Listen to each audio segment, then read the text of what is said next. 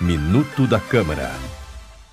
Os vereadores da Comissão de Saúde da Câmara Municipal de Natal foram favoráveis ao projeto que institui a Avenida do Lazer, com o objetivo de fechar uma via pública aos domingos para a prática de atividades esportivas.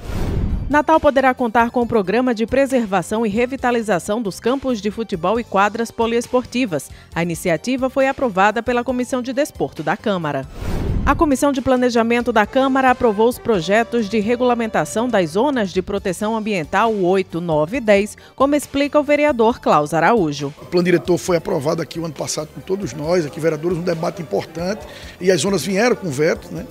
Graças a Deus nós estamos aqui agora destravando isso. Nós vamos agora fazer uma reunião conjunta das comissões para poder, em agosto, no retorno do recesso, votarmos em plenário e colocar um ponto final nisso.